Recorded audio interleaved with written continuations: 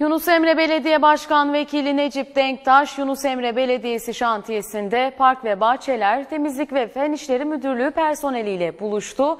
İşçilerle sohbet eden Başkan Vekili Denktaş kahvaltıyı belediye personeliyle yaptı. Bugün arkadaşlar.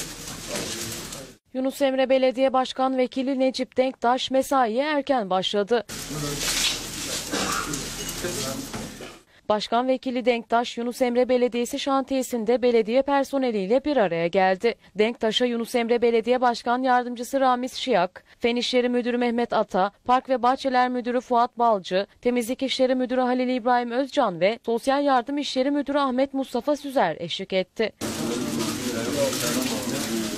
Yunus Emre Belediye Başkan Vekili Necip Denktaş ve beraberindekiler işçilerle sohbet ederek mesaiye başlayacak olan çalışanlara simit, çay ve peynir dağıttı.